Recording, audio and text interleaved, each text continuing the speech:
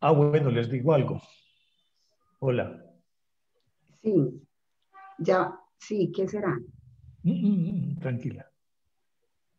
Ya, ya, ya están. Si quiere, escriba por el chat.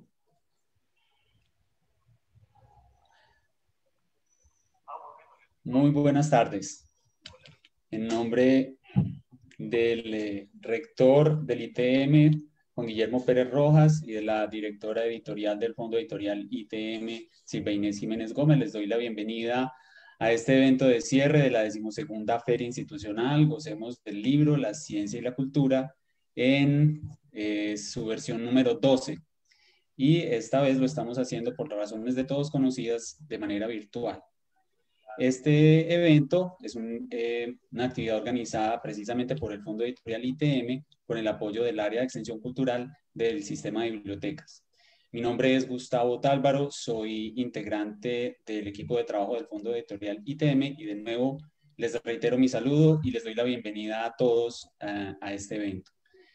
Em, les recuerdo que pueden encontrarnos en nuestra página web, fondoeditorial.itm.edu.co. Ahí todavía pueden aprovechar los descuentos que tenemos por feria. Y queremos pues eh, saludar también a todas las librerías, a los distribuidores y a los fondos editoriales que se han unido a esta actividad. Em, queremos hacer una especial mención a Redbooks con su proyecto Letras Académicas porque nos ha dado la oportunidad de contar con su canal de transmisión. Hoy tenemos, pues como todos los de esta semana, creo yo, tenemos un evento muy especial, eh, una conversación que tiene que ver con los libros, pero no es precisamente sobre un libro específico. Y tenemos además dos invitados muy especiales. La conversación de hoy se llama La editorial universitaria, Esperanza para una sociedad mejor informada. Y vamos a estar en la, conversación con, precisamente con la directora editorial del Fondo Editorial ITM y con el periodista Néstor Armando Alzate. Como yo soy vieja guardia, empiezo a presentar, empiezo por las mujeres. Entonces, eh, nuestra directora editorial, Silvia Inés Jiménez Gómez, eh, ha sido la directora del Fondo Editorial durante los últimos 11, ya casi 12 años. Es además directora del Departamento de Biblioteca, Extensión Cultural y del Sistema de Revistas del ITM. Eh, la directora es magíster en lingüística y español de la Universidad del Valle, es especialista en enseñanza de lengua materna y literatura de la Universidad Pedagógica Nacional de México y es licenciada en español y literatura de la Universidad de Medellín. Y durante mucho tiempo ha sido docente e investigadora y cofundadora del grupo Ciencia, Tecnología y Sociedad del ITEM. Por su parte, Néstor Armando Alzate es una figura pública, director, comentarista, narrador deportivo en diferentes emisoras y programas de radio, en cadenas locales y nacionales, presentador de programas en televisión, en los canales Teleantioquia, Telemedellín y más recientemente, creo que ahí lo pueden identificar, en Televid. Eh, yo les menciono especialmente el programa Había una vez, un programa de historia. Eh, ha sido columnista y corresponsal de diferentes medios de prensa escrita, también nacionales e internacionales profesor en la Universidad de Antioquia, en el Instituto de Artes, entre otros, y además es autor, autor de La Bella Villa, una historia de Medellín, El Santo del Día, que es una publicación en cuatro tomos, y eh, por aquí 100 años de heroísmo, un libro escrito para el Cuerpo de Bomberos de la ciudad de Medellín. Eh, les reitero entonces la invitación para que nos dejen sus comentarios, nos hagan sus preguntas, las vamos a estar pasando durante la conversación. Eso es lo que nutre este programa o estos encuentros, eso es lo que le da sentido a estos encuentros. Sin más entonces, los dejo con nuestra directora editorial, Silvia Inés Jiménez Gómez. Muchísimas gracias, Gustavo. Eh, bueno, muy buenas tardes eh, para todos ustedes, amable audiencia. Agradecerles también por estar aquí con nosotros en esta feria, ya finalizando la feria que llamamos en el ITM Gocemos del Libro, la Ciencia y la Cultura. Gracias por sacar este rato para, para escuchar sobre todo a nuestro invitado especial que es Néstor Armando Alzate, que ya comienzo a ver, Néstor Armando, que te están mandando muchísimos saludos. Ya después Gustavo te irá leyendo. Pero sabemos, sabemos que Néstor Armando es toda una personalidad, eh, es un honor, Néstor Armando, tenerte aquí en el ITM y sobre todo en cabeza de nuestro rector Juan Guillermo Pérez, en mi nombre también y en el de mi equipo de trabajo. Muchísimas gracias por haber aceptado esta invitación. Bueno, entonces ahora sí comencemos esta conversación que promete ser muy interesante y ojalá que a todos les parezca pues muy entretenida porque lleva tu sello Néstor Armando, ¿no? Eh, como bien les dijo Gustavo, eh, vamos a hablar este rato sobre la editorial universitaria Esperanza para una sociedad bien informada. Pero antes, Néstor Armando, como que eh, hablemos un poquito de ese nombre que le dimos a este evento, es, es un poco contextualizar, en, por lo menos yo sé que tú nos vas a, a contextualizar a través de la historia, ¿cierto? Lo que ha significado fondos editoriales, editoriales, en fin. Pero yo quiero contextualizar al público que nos está escuchando en los fondos editoriales universitarios en Colombia. Eh, los fondos editoriales universitarios en Colombia han crecido vertiginosamente en estos últimos 15, 20 años, más o menos. Y eso tiene muchas razones, muchísimas razones, entre ellas el prestigio que le da a una institución de educación superior contar con un fondo editorial, poder entonces publicar lo que sus profesores, lo que sus investigadores hacen, que es muy diferente de una editorial comercial, ¿cierto? Entonces, eh, el Fondo Editorial ITM, como lo dijo Gustavo, eh, bueno, que yo ya voy a cumplir casi 12 años en esta dirección, eh, pero tiene 20 años nuestro fondo editorial. Fue el primer fondo editorial universitario de una institución universitaria tecnológica, fue el primero en el país. Bueno, entonces, Néstor Armando, importante hablar como, como, como de, de, ese, de ese nombre que le dimos al evento, porque pareciera que estamos diciendo que de pronto a lo mejor la sociedad no está muy bien informada todavía y que de pronto esos, esas editoriales universitarias se constituyen como en una promesa, en una esperanza para que haya esa relación más estrecha entre la sociedad y la universidad, ¿no? Entonces, adelante pues, Néstor Armando. Eh, buenas tardes, doctora Silvia. Un saludo para el doctor Juan Guillermo Pérez, rector del ITM, a Gustavo, a Rigo, que está en Facebook, eh, a Caterine, es decir, a todos. Muchísimas gracias por esta invitación. Para mí es un privilegio, es un gran honor que ustedes me, me inviten para hablar sobre esto. Y yo creo que ese, ese nombre no solamente es muy puntual, sino que además es muy sugestivo porque en una época como en la que estamos viviendo de fake news y de tanta desinformación, y parto pues desde, desde la perspectiva de lo que he centrado mi vida, que es en el periodismo, hace falta tener fuentes para contar, hace falta tener fuentes para poder no realmente conocer una situación y no solamente conocerla, sino formarse una idea, una idea plena, real y objetiva. Yo creo que ahí entra a jugar un papel fundamental la universidad como, como un facilitador por una parte, pero también como em, el impulsor o la impulsora una actividad académica que desafortunadamente por los mismos hipermedios, por internet y demás, nos está diluyendo y yo creo que esos testimonios, esos testimonios se vuelven un poquito aire cuando se vuelven aire se desfiguran y desaparecen sin dejar la verdadera sustancia. Por eso este nombre a mí me parece no solamente muy puntual, sino que me parece que es, es eh, muy, muy oportuno para la situación que estamos viviendo.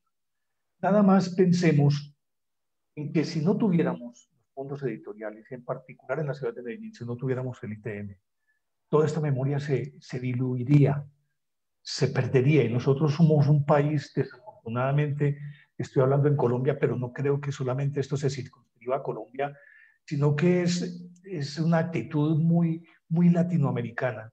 Y es que tenemos una amnesia crónica. Y esto no quedará plasmado en alguna parte. Desafortunadamente, las futuras generaciones tendrían una visión muy parcial, muy pequeña o muy deformada. Por eso me parece que para para los círculos académicos, para los círculos intelectuales y, ni qué decir, particularmente para el público en general. Yo creo que la misión eh, de, de, un fondo editorial y con un nombre tan sugestivo eh, para informar esta nueva sociedad, yo creo que es, es, es, es una salvación. Yo no, yo no puedo decirlo.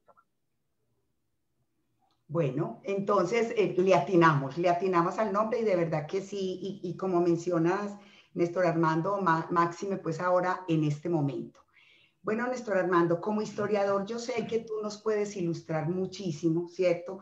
Y como hacer un breve recorrido de lo que ha sido por allá en, aquellas épocas de la Biblioteca de Alejandría, de todo lo que habría que contar eh, eh, en términos de, de, los libros, ¿no? De, de, la existencia de la imprenta, pues cuando, cuando ya la humanidad se desarrolló por, en ese sentido. ¿Qué nos pudieras contar entonces como parte de esa historia para que nos vayamos, para que vayamos llegando al siglo XXI? Para empezar, tenemos que mencionar, usted ya lo mencionó Alejandría, obviamente que hay referentes anteriores en, en el imperio egipcio, eh, ni qué decir de los griegos, de hecho, pues Alejandría se nutrió fue de los griegos. Cuando murió Alejandro y Ptolomeo logró pues eh, llegar a Alejandría, ciudad que había fundado el, gran conquistador, empezaron a recopilar todo ese conocimiento. Se cuenta inclusive que el Ptolomeo primero mandaba a emisarios a todas las ciudades griegas y recogían todos los manuscritos y le prometían a la gente de la ciudad como eran ciudades-estados, préstenos esto, nosotros lo copiamos y le devolvemos el original. Y entonces, y, es decir, y, dejamos aquí como, como garante una crecida suma de dinero. Pues le traían los originales y él decía, quédense con el dinero y les damos una copia. Y nunca devolvió una sola copia. Entonces todo ese conocimiento se acopió en Alejandría y como la biblioteca de Alejandría, a más de ser una biblioteca, y en esto encuentro una similitud con, con, con el IPM, guardando las proporciones naturalmente, es que la biblioteca no era solamente un centro de consulta y de conocimiento, sino que era una academia, una academia, allí se enseñaban, allí, por allí pasaron Herón de Alejandría, Eratóstenes de Sirene, Demetrio de Falera, todos los grandes de Grecia, Herón de Alejandría, que fue el primero que habló de robótica e hizo un robot, todos ellos pasaron por ahí, tenían alumnos todos los días y todos los días enseñaban. Desafortunadamente Julio César destruyó una parte cuando incendió a Alejandría. Sin querer queriendo destruyó buena parte de la biblioteca, pero después eh, el fanatismo religioso hizo que, si no estoy mal, fue Diocleciano, que hizo quemar también una parte o Teodosio más bien, hizo quemar una parte de la biblioteca y completó esta, esta tarea devastadora el califa Omar en el 600, 600 y tanto, 670 más o menos. Destruyó la biblioteca diciendo que le preguntaron, ¿la destruimos? Dijeron, si, si no está dentro del Corán es falsa. Si está dentro del Corán, sobra. Entonces, quemen. No obstante, se lograron guardar no, no muy buena parte, pero sí alguna pequeña parte de la Biblioteca Alejandría que fue repartida eh, por todo el resto del mundo y que afortunadamente varios de los manuscritos más valiosos, vamos a todas las tragedias, solamente quedaron como dos o tres, pero se lograron guardar en los monasterios medievales. Yo creo que si no hubiéramos tenido los monasterios que eran también centro de conocimiento, conocimiento que hoy tiene la humanidad no habría llegado hasta nosotros. Ese conocimiento no habría llegado a nosotros y habríamos tenido que desandar todo el camino para empezar a construir otra vez. El medievo, los monasterios, que eran además centros académicos, guardaron todo ese conocimiento. Que afortunadamente se liberó después de que Gutenberg inventó la imprenta en 1453. Y de ahí en adelante, por ejemplo, la Universidad de Salamanca tiene una de las bibliotecas más completas, más hermosas un fondo editorial, digámoslo fondo editorial porque tenía un gran ejército de amanuenses, de escribanos que iban transcribiendo y transcribiendo y transcribiendo antes del invento de la imprenta. Y luego empezaron a recopilar todo ese conocimiento y a guardarlo. Y ese ejemplo lo siguieron las demás, las más antiguas, Oxford, Cambridge, todas las universidades, absolutamente todas, aunque no hayan tenido físicamente un fondo que imprima libros, que haga libros, tuvieron todo ese conocimiento guardado y todo ese conocimiento guardado era para que les iban a estudiar pudieran consultar.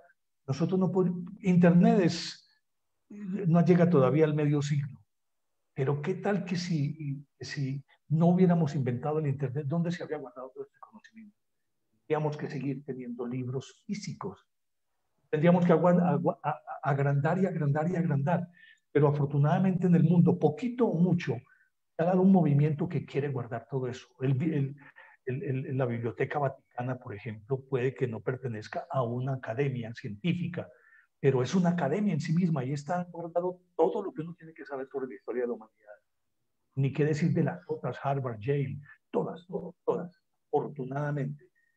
Ahora tenemos la posibilidad de guardar en un aparatico muy pequeño, pero no sé, yo soy vieja guardia, pues, y, y el delicioso encanto del olor de un libro en mis manos, y aunque de pronto me pase lo de lo que cuenta cuenta Humberto Eco en, El nombre de la rosa, pues eh, Guillermo de Bakersville, que los envenenan a todos con arsénico de la punta, la parte superior de la hoja para que no pasa lengua para poder pasar la hoja.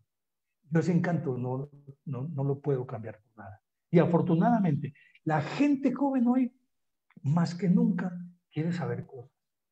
Internet tiene muchas cosas muy distorsionadas. No es no digo que es la generalidad, pero dentro de lo que hay ahí hay también eh, mucho, mucha, es decir, mucho conocimiento, aparentemente conocimiento, pero distorsionado.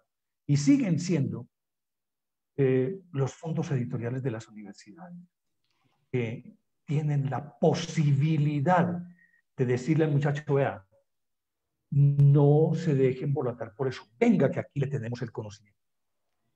Eh, precisamente, Néstor Armando, mira, eh, lo que estabas hablando con respecto pues a, lo poético, lo sensible que es uno poder tener el libro en la mano, todo aquello, esto ha sido de verdad eh, difícil porque, es más, yo aquí tengo un dato que solo es del 2018, este año debe salir ya para finales de este año, debe estar que sale por la Cámara Colombiana del Libro la estadística de las ventas digitales, pero del 2019. ¿Cómo irá a ser? Porque para este año 2020, que las estadísticas estarán saliendo en el 21, eh, con seguridad que van a cambiar considerablemente las estadísticas en cuanto a la venta de los libros digitales, ¿cierto? Y en Colombia, eh, un país que sabemos que es de pocos lectores, que da tanta dificultad, ¿cierto? Eh, decía pues una voz, una voz de autoridad que es el presidente ejecutivo de la Cámara Colombiana del Libro, eh, para el 2018 en los resultados que salieron este año decía, perdón, eh, que salieron a finales del año pasado, decía que mientras las exportaciones colombianas de libros se habían reducido, el mercado interno de libros había crecido significativamente y que en esa misma medida están creciendo los lectores. Y en cuanto a los libros digitales, todavía estamos hay una brecha todavía muy grande, Néstor Armando. Pero yo, yo espero poder estar y conocer las estadísticas del 2020 que se darán en el próximo año, porque para el 2018, de los 37 millones de libros vendidos en el año, de acuerdo pues con la Cámara Colombiana del Libro, solamente 2 millones de ejemplares fueron digitales. Entonces todavía pues nos falta mucho camino que recorrer, pero esta pandemia nos está enseñando primero, a valorar realmente el buen uso de lo que es la, tecnología realmente, ¿cierto? Y, nos ha salvado, porque por lo menos en la experiencia en el Fondo Editorial ITM, hemos vendido muchísimo, se nos triplicaron las ventas digitales, las ventas digitales, eh, porque las empresas, pues ha sido muy difícil. A propósito de eso, de esto, Néstor Armando. Bueno, eh, a ver, em, ¿Cuál crees, Néstor Armando, que sea como entonces, con todo lo que has dicho, como cuál sería la misión de estas editoriales universitarias? Eh, porque sabemos, y eso sí está dado, es decir, nosotros los, fondos editoriales universitarios no pensamos en la parte económica, no. Es que ni siquiera alcanza para mantenernos realmente. Puede que algunas universidades ya muy grandes sí, puede que para algunas universidades por lo menos sostenerse, sostenerse, pero no verdaderamente no son centros de negocios. ¿Qué crees entonces que cuál es como la misión de un fondo editorial universitario? Bueno, cuando yo estaba diciendo aquello de que pues, soy vieja guardia y que me gusta el olor del libro y sobre todo el libro viejo, es algo que forma parte pues como de, de, de, la naturaleza misma de uno, de la formación como lector. Lo cual no significa en ningún momento que, mm, no pensemos en, los hipermedios o, como dice usted, los libros digitales. El conocimiento es bienvenido en, empaquetado, no empaquetado, eh, con moño de regalo, sin moño de regalo. Eso no importa la forma. Importa es la sustancia, el contenido. Y es apenas comprensible. Estamos en una sociedad donde ya nos hemos digitalizado completamente. Y, y, lo anacrónico sería, o lo, extraño sería ver a un muchacho que, es decir, que, amara el libro físico y se enamorara de él como nos hemos enamorado nosotros los viejos. Pero con seguridad que se puede enamorar de los libros digitales. Eh, la presentación para mí es, es eh, algo aleatorio, es algo secundario, pero, pero ya es una percepción personal. Pero no solamente es la tendencia, sino que es lo que se impone y es lo lógico y es lo que va a imperar en el futuro. Además, porque hay otros criterios que, que también aquí tienen que entrar a jugar. Y es que el papel está muy caro, estamos deforestando el planeta, estamos acabando con todos los recursos. Con seguridad vamos a migrar, eh, aunque el libro no va a desaparecer. El libro no va a desaparecer.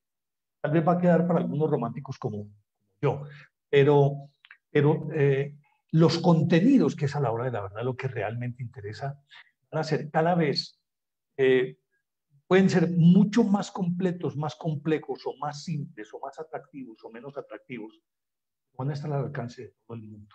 Yo creo que cuando vas a Amazon y encontrás que son libros de, de un dólar, dos dólares, cinco dólares, dice, bueno, por lo menos la gente tiene acceso a los libros, no importa cómo se lo presenten.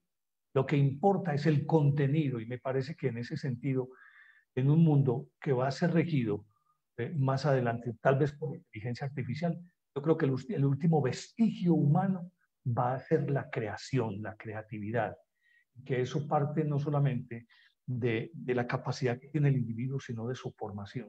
Puede que una inteligencia artificial te hable de todas las fórmulas físicas y desarrolle todo lo que vos querás, pero la inteligencia artificial jamás tendrá la capacidad de análisis humano eh, que tiene el hombre, que, tiene, que tenemos nosotros para poder llegar al fondo de la cuestión, porque una publicación no es solamente la letra fría, muerta.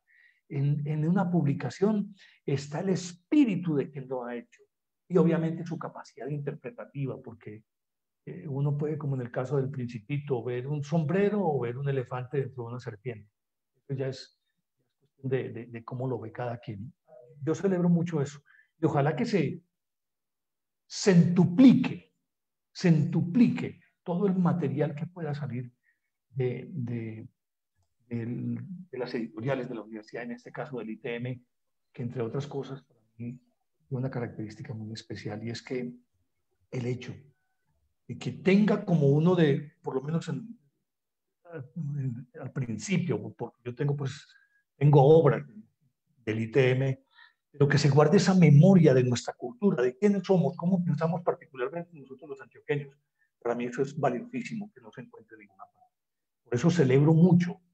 Eh, cada vez, mucho más fuerza. Esto no es cuestión de, de, conseguir plata con esto, es cuestión de que pueda impartir conocimiento y que el estudiante tenga la posibilidad de llegar a la fuente misma de ese conocimiento.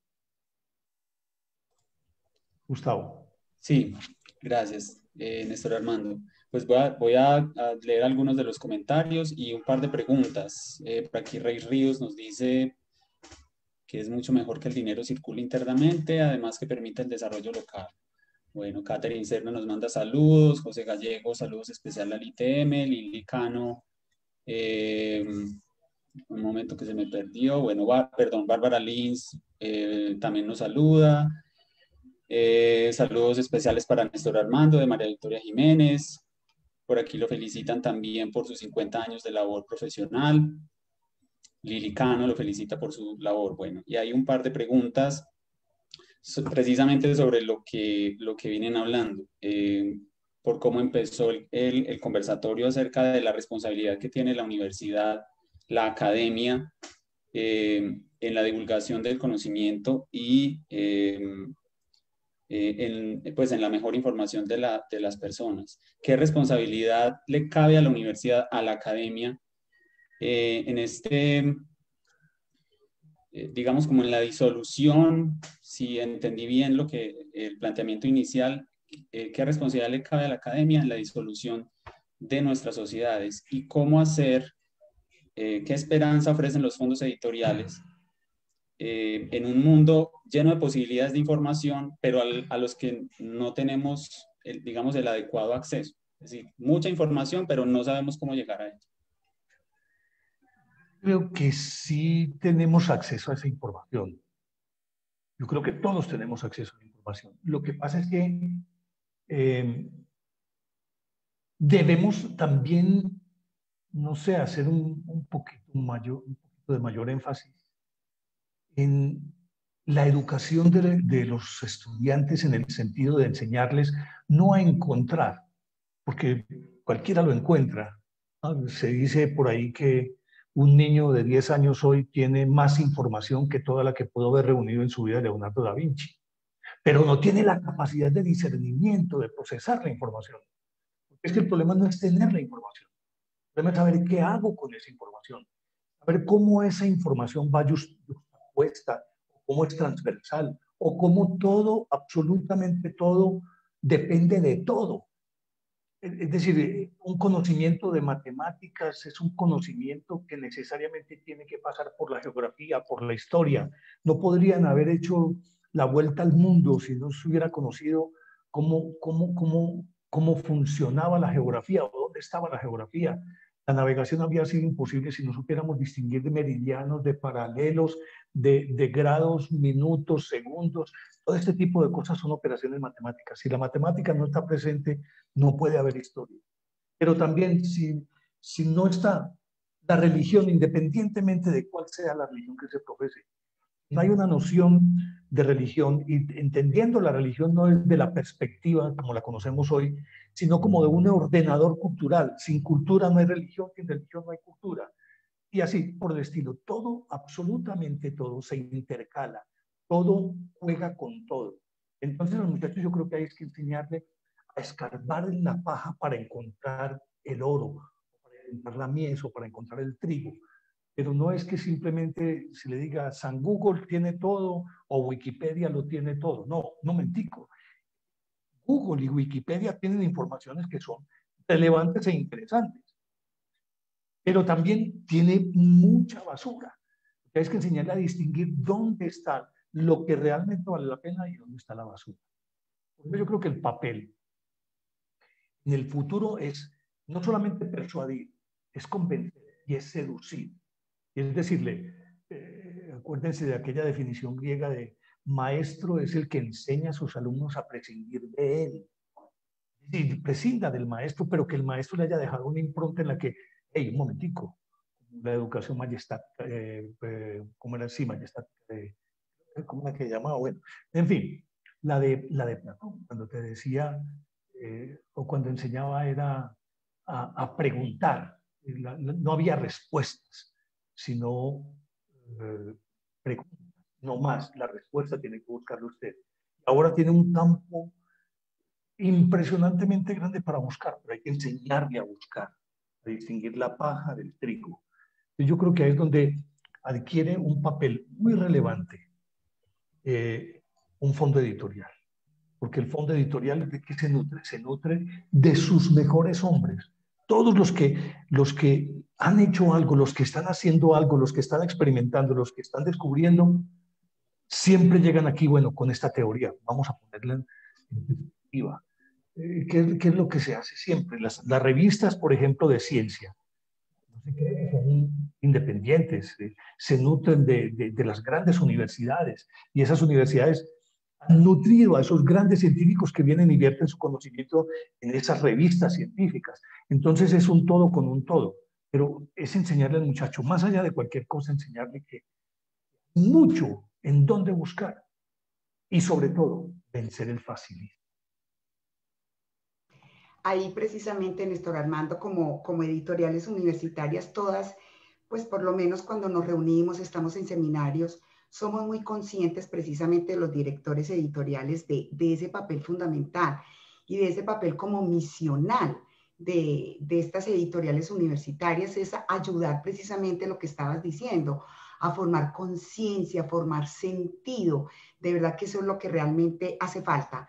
Comparto lo que dices, la, la información está. Y máxime ahora que estamos hablando tanto de acceso abierto en los repositorios institucionales, en los repositorios de todas las universidades, son abiertos, ahí está el conocimiento, pero, pero a boca de jarro, como decimos de verdad, para todo, todo aquel que quiera buscar. Em, el detalle está en que sepa seleccionar la información, hacer buen uso de esa información precisamente. Bueno, hago aquí, perdón Gustavo, porque es que estoy mirando aquí que nos están saludando desde México y yo quiero saludar a este gran amigo eh, Alejandro que nos está saludando y está diciendo que interesantísimo el tema. Qué bueno Alejandro que estás con nosotros por allá desde México. Muchísimas gracias. Bueno, em, sigamos entonces, Néstor Armando, mm, con estas editoriales universitarias. A ver, vámonos como por el lado, porque aquí en Colombia no han formado o no nos han formado como editores. Muy recientemente, apenas está saliendo pues como eh, un, seminario por allá en Caro y Cuervo, una maestría, creo que ya está la maestría en los Andes, y bueno, la, Universidad de Antioquia también creo que tiene una maestría una especialización, pero eso es, eso es reciente. Eh, los que llegamos como a, como a esto es por la pasión, por el gusto, por la convicción que tenemos por los libros, la escritura, es eso. Y hemos ido aprendiendo a través de la experiencia y del camino y hablando con otros colegas, ¿cierto? ¿Cómo haces esto? ¿Cómo haces aquello? ¿Cómo ves precisamente esta profesionalización en Colombia? eh, sí se hace más necesario que las universidades estén pensando como en programas académicos en este sentido. ¿Cómo ves desde afuera esa profesionalización? Bueno, primero quiero, quiero aclarar aquí que se me había perdido la palabrita que estaba buscando. Yo dije que educación majestática, no, perdón, mayéutica. Mayéutica. mayéutica. Decía, ¿cómo era, cómo era, cómo era? Se me había perdido la palabra, mayéutica.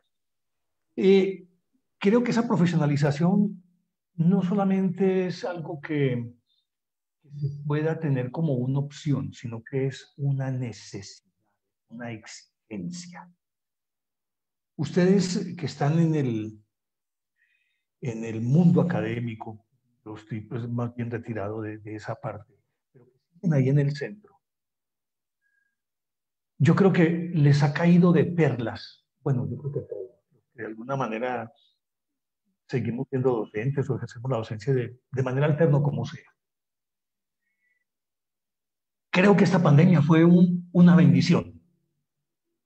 Una bendición y fue una bendición por una razón muy elemental. Aquella educación estandarizada donde encuentras 15 muchachos con 15 intereses diferentes, con 15 aptitudes distintas, con 15 pensamientos divergentes, que es un mundo cada uno, no se pueden seguir estandarizando se puede llegar a, hacer un examen y pretender que, el que, pensar que el que te sacó uno es porque es muy bruto, y perdónenme, lo pongo entre comillas, eh, y el que te sacó cinco es un genio, ¿no? Son dos mundos distintos, dos aptitudes diferentes, dones distintos, y el que es muy bueno para escribir probablemente sea muy malo para hablar, y el que es muy bueno para hablar no necesariamente tiene que ser bueno para escribir, porque si no, decir alguna. Entonces, ahora la educación tiene que tender a personalizar, a descubrir al individuo, sus talentos, capacidades, sus potencialidades. Y digo que es una bendición esta pandemia porque nos va a llevar necesariamente a revisar el concepto de educación. Sigo pensando que el mundo, eh, no estamos viviendo en una época de cambio. Estamos viviendo en un cambio de época. Un cambio de época, no una época de cambio, sino un cambio de época. La educación nunca más volverá a ser lo que solía ser. El aula con 30 alumnos, ese mundo delicioso del campus en el que uno no solamente estudia, sino que socializa, aprende, se construye como persona, porque yo creo que más allá de la educación misma, el valor de la universidad es que forma personas que llegan al campus y en el campus interactúan con otros y aprenden cosas que en su casa no vio y desecha cosas de pronto no son para él. Entonces yo creo que la educación en el futuro va a ser a través de un aparato este. Y es ahí donde todo esto tiene una enorme validez. es ahí donde yo creo que va a ser determinante el papel de las universidades. Y obviamente que si las universidades van a impartir la educación desde acá o a través de estos medios, necesariamente tienen que nutrirse con lo mejor que tienen. Porque a partir de esto, ya no es el muchacho que va a clase porque le ponen una falta o que hace trampa en un, en un examen o que paga para que le hagan un trabajo. No. A mí lo que me encanta es que esto va a llevar al muchacho a entender que es su responsabilidad personal. Su educación no es una cuestión de la universidad. Puede ser la mejor universidad del mundo y de la mejor universidad del mundo salen profesionales mediocres. Y de, de universidades supuestamente que no son tan prestigiosas, salen excelentes profesionales. Pero es justamente eh, este sistema, el fondo editorial que se está nutriendo constantemente, el que va a formar a los nuevos estudiantes. Yo creo que es aquí donde está la clave de todo. No es ni siquiera la clase dictada por internet por el profesor. El profesor va a dar unas directrices, pero el profesor más que nadie, lo que decíamos de ese concepto griego, el maestro es el que enseña a sus alumnos a prescindir de él. Vea, en estos elementos, voy a encontrar esto, aquí voy a encontrar aquello otro, lo que no entiendan, venga, que lo, lo, conversamos entre los dos. Entonces, para mí, en esto es donde, en donde radica la importancia y en donde está el verdadero futuro, el verdadero futuro. No hay, ya, ya, aquellas universidades que, solíamos o que conocemos, que todavía están ahí, de, muchos estudiantes ya no. Lo que creo que es a través. Esta es usted tiene en sus manos, doctora Silvia, la herramienta de oro para sacar mejores profesionales. Y las universidades que no tengan todavía un fondo editorial, que no tengan todavía toda esta infraestructura, van a tener que hacerlo más rápido que lento. No se van a Entonces, en ese sentido, es fundamental la profesionalización de todo el equipo que está dentro de un fondo editorial, pero es que en Colombia todavía no se da ni pulula, pues los pregrados en, en, este sentido, no, uno porque ha leído, porque habla con el otro. Ahorita, como dije hace un ratico, sí, ya, ya, ya empiezan a ah. surgir programas, pero necesitamos profesionalizarnos. Pero mire, eh, yo, yo ahí le voy a interrumpir por esto. Sí, sí, adelante. Es que eh, obviamente que necesitamos la profesionalización. Siempre se ha dicho que el oficio se aprende haciéndolo. Mi pregunta es, usted decía ahorita, ya sé que hay un posgrado allí, otro posgrado allí. ¿Y por qué no ser el laboratorio del ITM? ¿Y por qué no hacer la profesionalización del ITLM con la experiencia que tiene, con los profesionales tan preparados que tiene, con, con todas las herramientas que tiene? Es que ustedes tienen 20 años de experiencia. ¿Cuál otra universidad tiene 20 años de experiencia en este campo? ¿Son ustedes? Sí, como institución. ¿Y ustedes por qué no? Nosotros. Mm. Y, los, y la gente que tienen todo es profesional, puede que no tenga ese título que les dice tuvo un posgrado en tal cosa, pero es la profesional. Yo creo que esa partir de ahí, bueno, hagámoslo nosotros y vamos a profesionalizar. Y en la medida en que profesionalicemos, mire, yo no sé si lo que voy a decir sea una utopía, sea una estupidez de mi parte. Pero entendiendo que ya, bien que mal, no se van a necesitar aquellas, máquinas enormes de imprenta y, las, los tipos de plomo y todas esas cosas, ¿por qué no soñar que los colegios de bachillerato tengan su fondo editorial? Y que de acuerdo con la perspectiva que tienen, porque es que ahorita la, la educación se está especializando, ya, ya no puede ser esa educación estandarizada donde, como decían los antiguos maestros, un mar de conocimiento en un centímetro de profundidad yo creo que al hombre moderno hay que prepararlo para hacer cosas que específicamente necesite la sociedad, que debe tener una fundamentación humanística, sí, pero yo creo que no puede poner a, a ver, por decir alguna cosa, una tontería de mi parte. Usted no puede enseñarle a los muchachos de Santa Rosa de Osos a hacer sombreros volteados, pero a los de Caucasia hay que enseñarles a hacer sombreros volteados. Y yo digo, podría, parecer muy pueril lo que estoy diciendo, pero esto es simplemente un ejemplo pedestre de lo que quiero decir. Es, si hay una vocación regional y un potencial regional, ¿por qué no sería maravilloso que, por ejemplo, una matriz como el IPM pueda irrigar ese conocimiento y que los mismos colegios tienen las herramientas porque necesitan es computadores y estas cosas que yo no las comprendo muy bien, pero con esto se puede hacer todo esto, libros digitales. ¿Por qué no soñar con que los colegios los tengan? Y hay que profesionalizarlos. Ahí está el ITM. Pues no sé, era muy loco lo que estoy diciendo, pero... No, no, no, no, maravilloso, maravilloso es, maravilloso eso que está proponiendo, qué rico. De verdad que sí, y que es perfectamente posible, porque es perfectamente posible. De hecho, nosotros, nosotros como fondo editorial, nosotros damos unos, unos seminarios, unos, eh, seminarios, unos seminarios para pero para escribir sobre todo artículos de ciencia, artículos científicos, ¿cierto? Entonces empezamos con profesores, estudiantes, todo el que quiera, y allá llega, son gratuitos inclusive, pero, pero sí, por algo se empieza, pero fíjese que no es nada descabellado lo que estás diciendo, absolutamente nada, nada descabellado. Mire, por ejemplo, ahora que los muchachos están, bueno, afortunadamente, nosotros en ese sentido, bueno, cuando digo nosotros no quiero incluirlos a todos, pero formo parte de eso. No tuvimos una conciencia real sobre nuestro medio ambiente. Y son los muchachos, los niños y los jóvenes los que están defendiendo el medio ambiente. Imagínese usted un colegio en la zona de los embalses, en el oriente antioqueño, donde están troneras, playas, está eh, el embalse del Peñón. Hay tanta agua y le estamos dilapidando. ¿Qué tal, por ejemplo, que en consonancia con eso y partiendo de lo que estaba yo proponiendo, ¿por qué no capacitar a los mismos estudiantes que sean los que produzcan artículos y que digan el buchón de agua nos está matando el embalse, pero vamos a hacer un estudio científico, hagan investigación, que tengan absolutamente todo y lo publiquen y aquí se puede hacer esto de esta y esta y esta manera.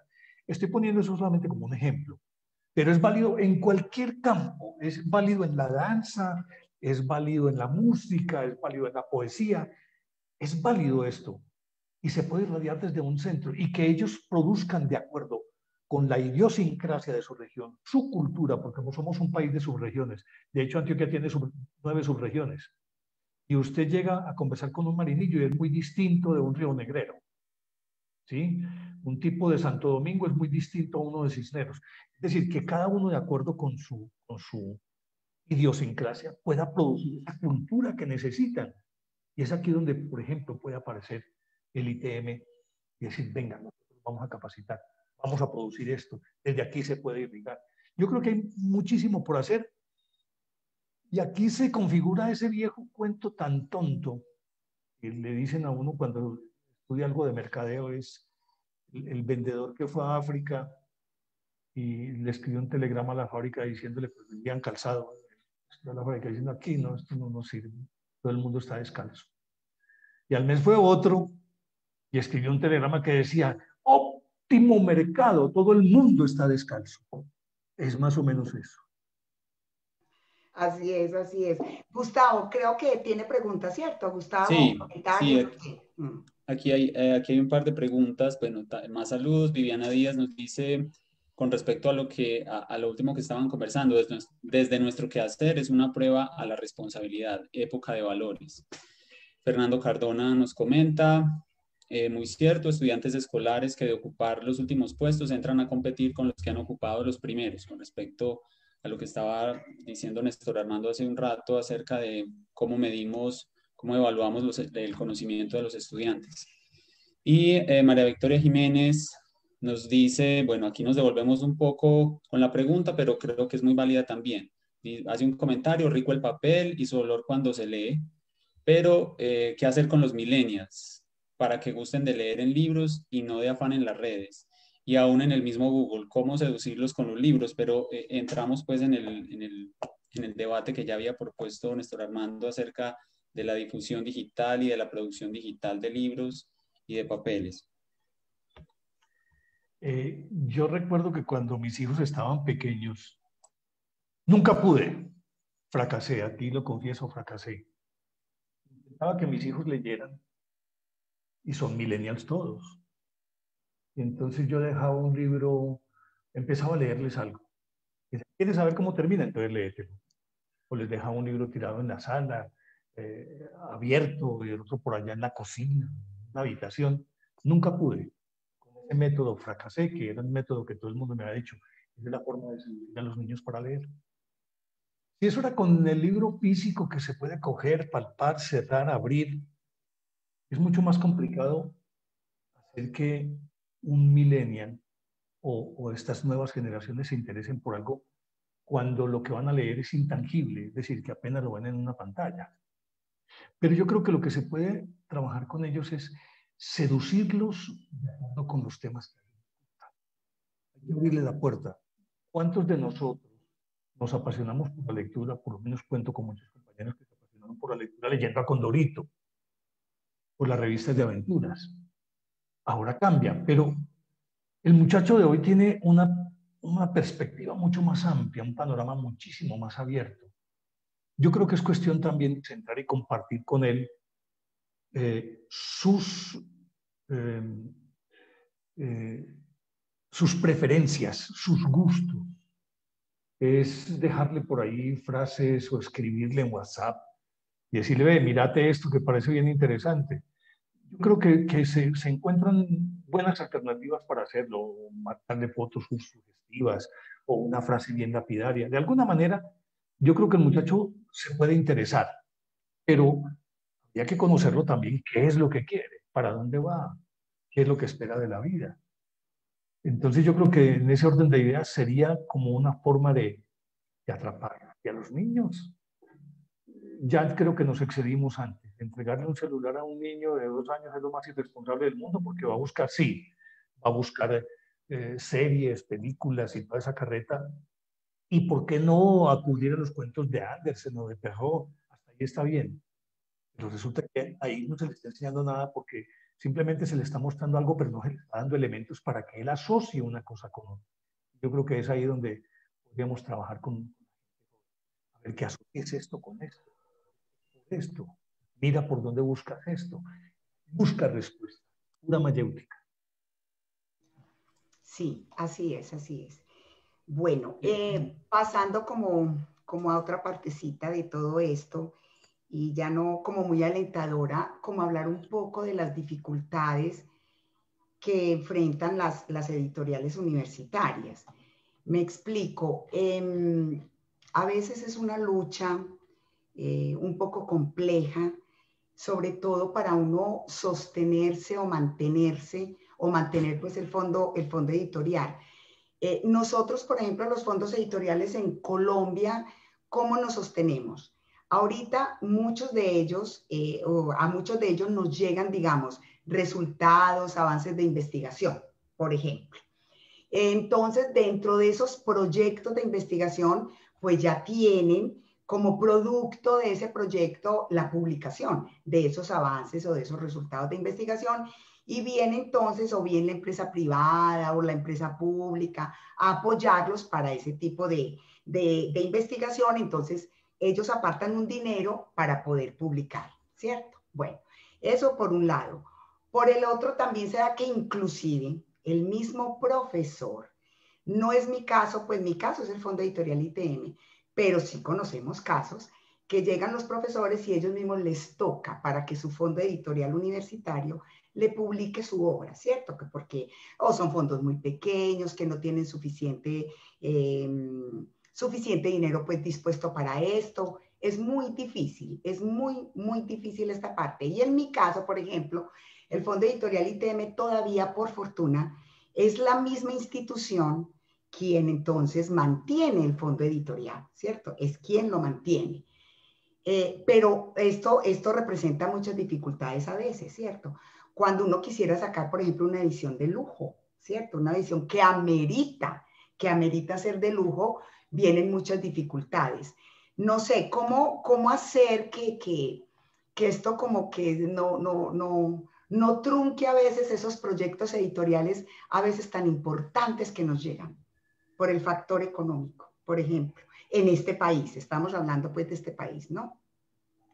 ¿Usted qué cree, Néstor Armando? Uy, usted estaba diciendo ahorita que este es, Colombia es un país que pobre en lectura. Sí, es cierto. Y pues si volvemos a aquel, anacrónico dato de hace ya muchos años que lo conozco, pues y, nadie lo ha renovado, nadie nos ha dicho si sí o si no, que mientras en Suecia se leen 10 libros o 12 libros al año, nosotros nos leemos medio libro en promedio al año.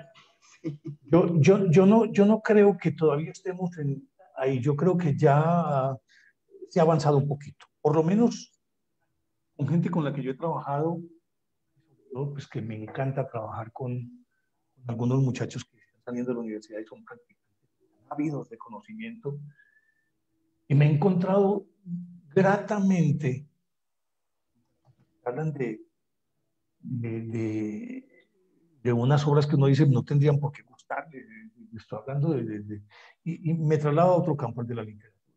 No tendrían por qué gustar el Quijote o, o el Rey Lear de Shakespeare, cualquiera de estas obras una propiedad de un montón de autores, autores que inclusive a mí me sorprende. Yo no he leído nada de este señor. Por el estilo. Yo pienso que ante esa dificultad, no sé, no, usted es muy joven, doctora sí. Pero yo me acuerdo. Favor que me hace, favor que me hace. Digo es por esto, porque estando muy niño yo recuerdo Editorial Bedú. Editorial Bedú eh, durante mucho tiempo sostuvo una colección que era, se llamaba Bolsilibro, Bolsilibro, libros pequeñitos, y, y, eran una colección de más de 200, 300 títulos. Yo no sé hasta qué punto en este momento, y dado pues que la tendencia es, eh, utilizando un término muy de, de los millennials, de migrar a Internet, o de migrar pues a, al libro electrónico, yo no sé cómo se puede hacer ahí de tal manera que más bien el libro escrito sea la excepción a la regla y se publique, como usted dice, en un caso supremamente especial, como si fuera una edición de lujo. Yo no sé hasta qué punto el enfocar todo el esfuerzo editorial hacia las publicaciones digitales baje costos, los aminore o no los aminore, yo de eso no entiendo, en, en detrimento, pues, y como sacrificio de, del libro físico. Si hablamos del libro físico, yo sí creo que habría que buscar alternativas como, como de publicaciones que fueran más accesibles para, para, para la gente, menos, menos costoso. Pero yo creo que eso ya también es difícil de contemplarlo de papel, por un montón de cosas que ya se escapan de las manos de, de quien tiene la intención de publicar. Entonces yo pienso que tenemos que adaptarnos a las circunstancias. Tenemos que adaptar a las circunstancias. No sé si en el futuro se pueda, se pueda hacer una publicación con, todas estas herramientas electrónicas que tengan menor costo y que se puedan producir físicamente. Yo soy un optimista en que creer que el libro físico no va a desaparecer. Pero tal vez va a convertirse el libro en, en algo de románticos, porque la lectura tiende a digitalizarse, tiende a, esas ediciones digitales. Yo no sé eso económicamente cómo se pueda resolver. Yo, es decir, yo, yo ahí sí no, no, no, tengo una respuesta, pero creo que, que se puede buscar el abaratar la publicación y hacerla más masiva, más masiva. Y llegar o recurrir también, y yo creo que este es un papel en el que tenemos que estar comprometidos los que hemos sido docentes, vencer a la industria, convencer a las empresas. Yo he visto, le cuento que en uno de mis libros toqué puertas y todos me dijeron, hermano, aquí no le nada. Lo único que podemos hacer es, lo publicamos, pero consiga patrocinadores. Si usted no tiene patrocinio, mm, mm, no hay nada. Es el patrocinador el que paga los costos. Entonces yo creo que si lo miramos desde la perspectiva institucional de la ciencia, hay que acudir a, entidades que, realmente estén comprometidas y a, eso tienden todas ahora, porque es que mire usted que las imágenes que están proyectando las empresas modernas es que todo tiene que ser ambiental. Entonces, bueno, cuide, venga, trabajemos institucionalmente. Yo creo que puede ser por ahí. Sí, eh, realmente otra manera también eh, es el libro pues a demanda, ¿cierto? Y que ya hay máquinas inclusive que son, pues son todavía costosas, pero haciendo unos esfuerzos se pudieran conseguir e ir haciendo los libros a demanda, definitivamente, ¿cierto? Para evitarnos esos stock tan grandes de libros en, esa, en esas bodegas, ¿cierto? Porque o, se para la venta, no se venden todos los que se sacaron, etcétera, etcétera. O se fotocopian. Ah, ah, sí, ah, no, y la fotocopia que acabó con esto realmente. Aunque ahorita hay un poquito de restricciones, por lo menos académicamente hablando, dentro de las universidades y todo esto, pero igual, los muchachos son muchachos y, en cualquier parte consiguen fotocopias.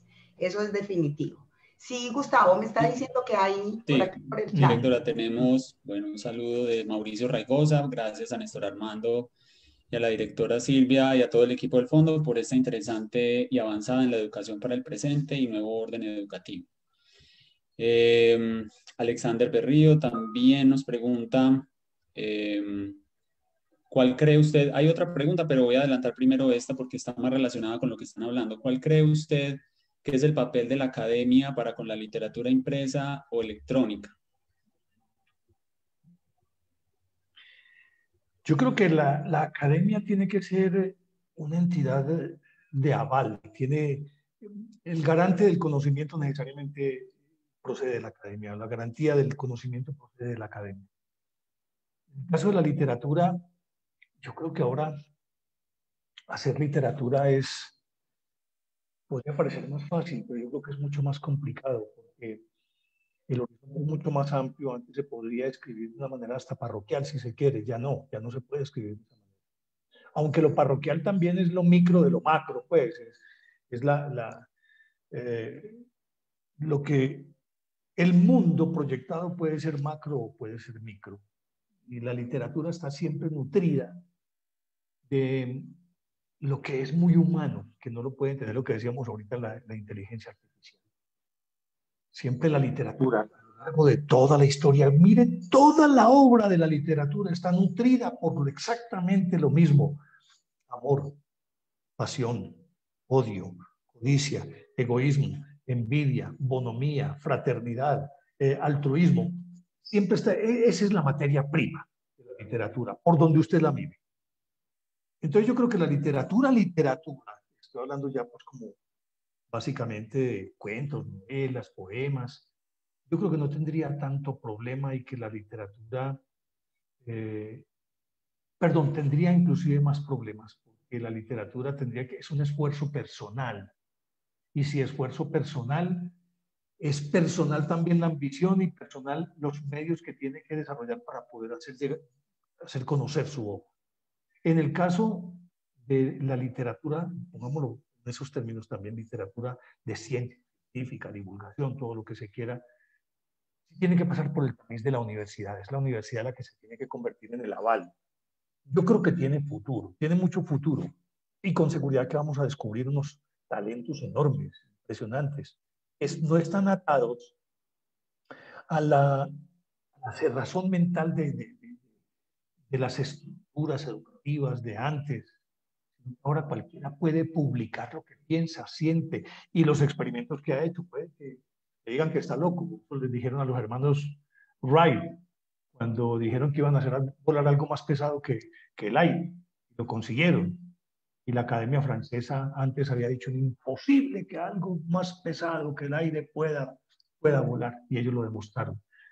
Y esa osadía yo creo que es la materia prima que vamos a tener en el futuro como elemento fundamental de lo que se va y esto es válido no solamente en la literatura, literatura, sino también en la ciencia. Hay muchachos que van a decir un momentico, la Tierra gira al revés. Y se los voy a demostrar y puede ser una investigación increíble. ¿cierto? Para algunos puede ser una locura, pero por lo menos puede decirlo, por lo menos puede plantear la teoría. Entonces yo creo que eh, en el futuro hay más facilidades, aunque haya más dificultades, son más las facilidades que las dificultades. Entonces ya no se está atado a una imprenta.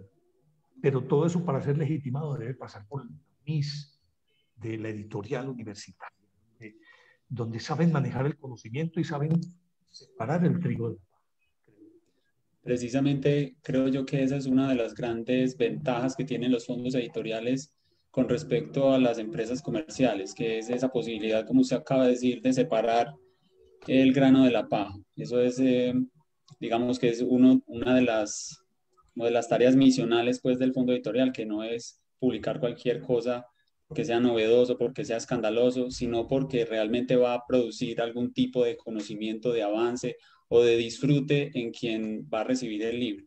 Y, a eh, propósito, y a propósito de eso, Gustavo, perdón, interrumpo.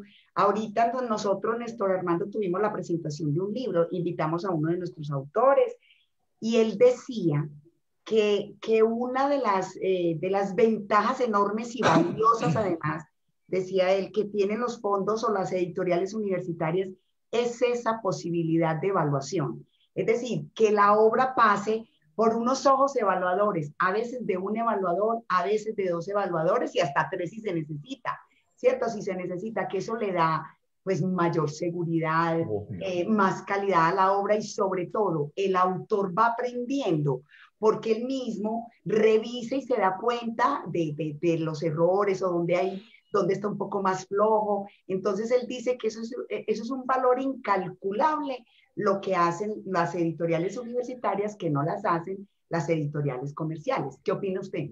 Sí, porque además hay otra cosa que es, que es fundamental. Listo, alguien tiene el conocimiento. Eh, yo sé que todos, todos ustedes, como yo, eh, en nuestra época de estudiantes nosotros decíamos, tenemos clase con fulanito de tales sobre que esta... Ay, no, no, el ladrillo no me lo aguanto, yo no voy a ir a esa clase. Y otras veces se decía, no, no, no, no, no, no, yo no me puedo perder esa clase. Lo que quiero decir con esto es que la persona puede tener muchísimo conocimiento y puede, puede ser un genio, pero probablemente le cueste expresarlo, porque la información no es para expresar. Su, su formación está, está centrada en la ciencia, en el, en, en la disciplina que maneja y listo, hasta ahí está muy bien. Hasta ahí está muy bien. Entonces yo creo que el papel de ese de tamiz que tiene el fondo editorial, de criba que va filtrando todo, no solamente lo que decía usted, le da calidad a los contenidos, sino que fundamenta también al escritor. Puede que no escriba como, como Gabo, en ciencia pues no, no, es tan determinante esto, pero por lo menos aprende a expresar sus ideas de manera clara, concisa y puntual. Me parece que es muy importante esa parte, sobre todo que haya ese tamiz, porque ese tamiz además es el que da credibilidad y respetabilidad, no solamente al, al fondo editorial, sino que el fondo editorial le da respetabilidad al autor. No me pregunta si a mí me va a publicar eh, Randolph, creo que es el, especialista en, en, en, ciencia. Sí, sí. Si a mí me publica, si a mí me publica Randolph, es porque eso tiene que ser bueno. Entonces, el fondo editorial le da respetabilidad y credibilidad al autor, pero el autor tiene que someterse a ese tamiz que me parece que es no solamente importante, sino necesario. Permítame eh, unir lo que acaba de decir con una, pues creo que ya, directora, usted nos dirá las últimas preguntas porque ya estamos sí, ya, cumpliendo pues con el tiempo. Sí, sí. Eh, pues primero hay un comentario de Carolina Castañeda con respecto al, tema anterior, eh, ese debate entre el libro físico y el digital. Dice, estoy de acuerdo con que el libro físico no debe desaparecer. No va a desaparecer, Caro, tranquila. Pero las editoriales tenemos grandes retos en materia digital, recursos más dinámicos e interactivos y ahí eh, creo que eso queda claro en la conversación y es todo el, abanico que se abre para, las editoriales, especialmente universitarias, en el campo digital. Y hay un par de preguntas, eh, creo que están, podemos relacionarlas de alguna manera, dice Lina María, cómo quitar, cómo hacer desaparecer del imaginario colectivo la idea de que los fondos editoriales son aburridos, que son muy académicos. Y esa la conecto, bueno, vamos a ver cómo queda Dice Víctor Acosta, cómo contrarrestar desde los fondos editoriales y desde el periodismo eh, aquellas estrategias políticas, aquellas sí, estrategias políticas ideológicas que buscan desinformar y dominar a la sociedad con instrumentos ideológicos. Bueno, yo creo que ahí es donde aparece otra vez como elemento fundamental la criba, el tamiz.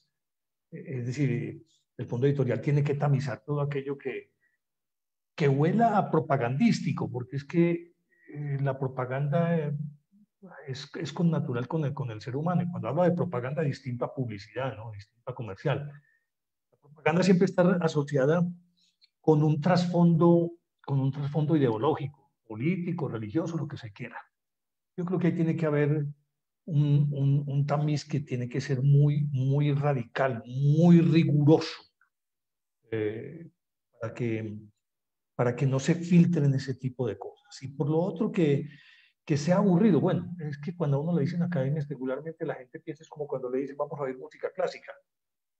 De 10, uno dice, venga, vamos a oírlo. Y no los otros dicen, no, no, no, no, a mí tráigame música de despecho o salsa. ¿Cierto? Es como, como la, la idea o el arquetipo que se tiene acerca de, de, de los fondos editoriales académicos, que tienen que ser aburridos. No, la ciencia no tiene que ser aburrida.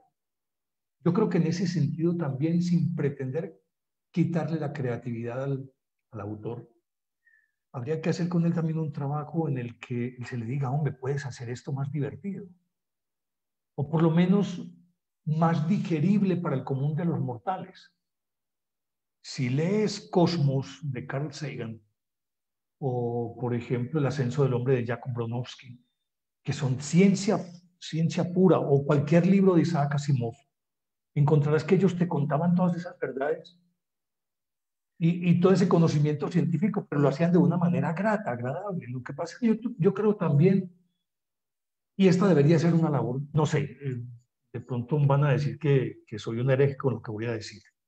Lo que pasa es que así todas las profesiones y en los círculos académicos se va articulando como una especie de tecnolecto o jerga, digámoslo de esa manera, que llena de palabras que, son, que se vuelven crípticas en sí mismas y que, que, no las entiende sino la gente que está metida en ese medio. Y nada por descontado de que si yo conozco esa palabra, los demás tienen que conocerla. Resulta que no es así. Yo creo que habría que cambiar también un poquitico ese pensamiento de que lo, que lo que se escribe tiene que ser demasiado técnico y con términos muy rebuscados desde el punto de vista de la disciplina sobre la que se quiere hablar. Ahí es donde yo creo que se convierte en aburrido. No hay nada más aburridor que usted leer un expediente judicial donde eh, lee y el 90% no lo entiende si no es abogado. Pues lo consustancial del... Eh, eh una cosa que... ¿Y esto quién lo puede entender? Yo creo que habría que trabajar también, decir, bueno, vamos a escribir, ¿cierto? Usted trae su trabajo. Por favor, hágalo a mano, hágalo digerible. Porque si es, si es ciencia, pero ciencia de, de calado profundo, es para compartir con sus pares, con los académicos. Entonces, escríbalo para ellos, una cosa cerrada. Pero si es para que el público pueda enterarse, hágalo. Y eso es lo que, lo que realmente estamos haciendo de verdad. Nosotros estamos como en esa tarea porque que la ciencia sin perder la rigurosidad que ella conlleva, uh -huh. poderlo hacer en un lenguaje, eh, pues sí, asequible a todo el mundo, por supuesto, al ciudadano de a pie. Estamos hablando del ciudadano de a pie, no, no, no de, las, de, las, de los especialistas, no, no, del ciudadano de a pie. Al curioso. Sí, exactamente, exactamente, esa es la idea. Bueno, y para terminar, pues digo también como usted, Néstor Armando, de verdad que yo creo que definitivamente eh, las editoriales universitarias tienen un futuro muy promisorio. Yo también creo, estoy convencida de eso, y, bueno, y ahí vamos creciendo y, y, cada vez nos vamos haciendo mejores, y sobre todo estamos trabajando de manera muy colaborativa, y por eso le agrego yo a lo que usted dijo, que eh, es la primera vez que escucho a alguien públicamente decir que esta pandemia eh, nos ha convenido, esta pandemia ha sido beneficiosa en muchas cosas, entre ellas eso, nos está enseñando muchísimo a trabajar en equipo, pero mucho es mucho, y lo digo por los fondos editoriales en Colombia. Y, y no solamente en equipo, pero también de manera personal, porque es que yo estoy aquí sentado frente a esto, o aprendo a manejar este aparato o lo aprendo a manejar para empezar. Y si yo quiero adelantar en esto, pues tengo la posibilidad de reunirme con, con mis pares mí mismo puedo desarrollar todo esto. Permítame un instante, voy a hacer aquí un pequeño alto. Quiero saludar a dos personas muy especiales que están ahí, que los leí. María Victoria Vicky, mi compañera en Caracol durante muchos años, directora de, del sistema de noticias de Caracol. Y a Juan Eugenio Jiménez, con quien también tuve la fortuna de trabajar en deportes muchísimos años cuando ejerció como, técnico de fútbol. Entonces, en suma, lo que quiero decir es, es eh, y a ellos pues gracias y siempre un cálido abrazo. Eh, yo creo que, para finalizar, tenemos que mirar que, eh, como el vendedor en África, hombre, vendamos zapatos, que todo el mundo anda descalzo. Creo que una feliz oportunidad. Lo que llaman ahorita, pues que, que, ya está muy en boga, la famosa resiliencia, la reinvención de esa carrera. Ah, sí, sí. Yo lo propongo desde el término del redescubrimiento personal. Ahora sí, tenemos toda la interacción del mundo, podemos aprender a trabajar en equipo. Lo que sí es más importante es que el hombre aprenda a descubrir. Y que para poder hacerlo, debe nutrirse. Entonces, en ese orden de ideas, ahí es donde el mundo editorial tiene que ser una fuente nutricia de ciencia, de conocimiento, de folclore, de cultura, de tantas cosas. Mire, yo me relamo, por ejemplo, y se lo puedo mostrar, yo tengo aquí cosas viejas de, de Lisandro, ¿qué? Tengo varios libros sobre la historia de Medellín y de Antioquia, varios escritores del fondo editorial y a mí me, me derrite, además porque son mi fuente de consulta. Entonces yo creo que en ese orden de ideas, esta es una feliz oportunidad. Yo creo que mejor oportunidad que esta, ni siquiera el más optimista se lo habría pensado, y mucho más en el, en el, en el ámbito, del, en el ámbito académico, había llegado a pensar. Un momento delicioso de redescubrir el conocimiento, la ciencia y el valor del fondo editorial como, en este caso, podría ser como, como la proyección, la portada de la universidad. Yo creo que es, el fondo editorial es la portada de la universidad. Uy, qué maravilla, qué maravilla. Tome atenta nota, tome atenta nota. Muchísimas gracias, Néstor Armando. Muchísimas gracias. Gustavo. Muy bien, muchísimas gracias entonces a nuestra directora editorial Silvia Inés Jiménez Gómez y a nuestro invitado tan especial, Néstor Armando Alzate. Eh, esperamos que hayan quedado llenos de reflexiones, de preguntas, de cuestionamientos eh, obviamente agradecemos de nuevo a las librerías, a los fondos editoriales y a los distribuidores que se unieron a esta actividad. Eh, les recordamos visitarnos en nuestras redes sociales, en este mismo canal de Facebook, en Instagram, editorial-itm. Los invitamos también a que llenen la encuesta de satisfacción que va a quedar allí en la caja de comentarios de Facebook. Y pues les deseamos una muy buena tarde, les agradecemos que nos hayan acompañado estos tres días de, feria y esperamos encontrarnos muy pronto. Hasta, pronto, hasta luego.